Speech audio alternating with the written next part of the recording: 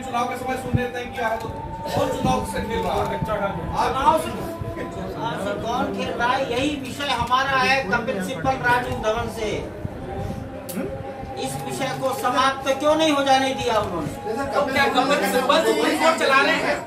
Court सुनवाई कर रही है नहीं नहीं नहीं कपिल सिब्बल ने कोर्ट में आकर कहा ये मुकदमा उन्नीस सौ तो हैं कपिल सिब्बल के कहने से चल रही है। कपिल सिब्बल के कहने से कोर्ट चल रही है?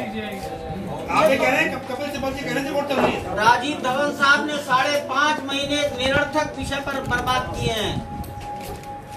सर आप साढ़े चार वर्ष पहले क्यों नहीं जाके मंदिर के लिए? आप साढ़े चार वर्ष पहले आपने जवाब क्यों नहीं बनाया? वोट दिया था हम जगह थे हमारी अपील तब से है हम बार बार सरकार पर दबाव अध्यादेश का सरकार पर दबाव क्यों नहीं ये तो बनाया? धर्म सभा अभी कर रहे हैं पहले क्यों नहीं कर सके कर सके आप? आपने परिस्थिति आज पैदा की।